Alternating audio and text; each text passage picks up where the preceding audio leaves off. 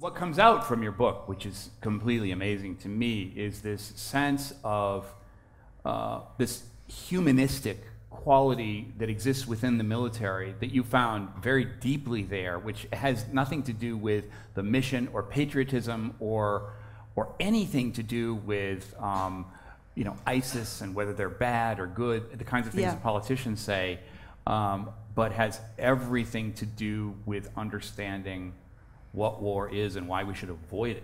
Yeah. Um, this is an Yeah. amazing lesson that you came to through a scientific Yeah. inquiry. Tell me a little bit of that thread. Yeah. and Yeah. the well- people that you met along the way.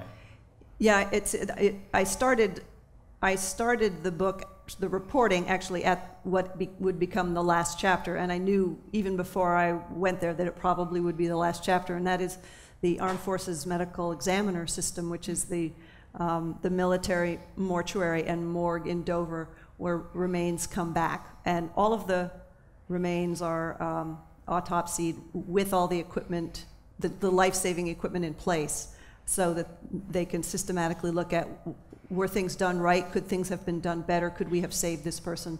And then they have these combat mortality conferences with you know like 70 or so people going case by case and looking at it. But anyway, what I was going to say is the the people there.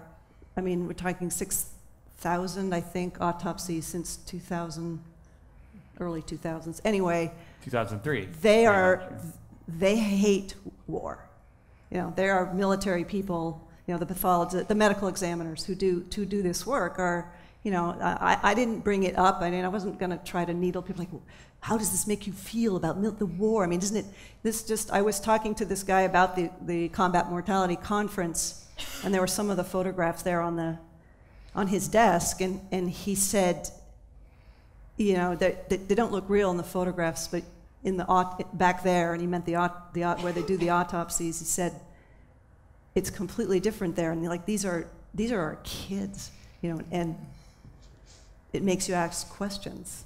And I didn't even at that point go like, what questions? He just said, like, is it worth it? I mean, that, so, you know, I. Uh, it, I spent two years sort of inside the military, but I didn't really speak to a lot of fans of war.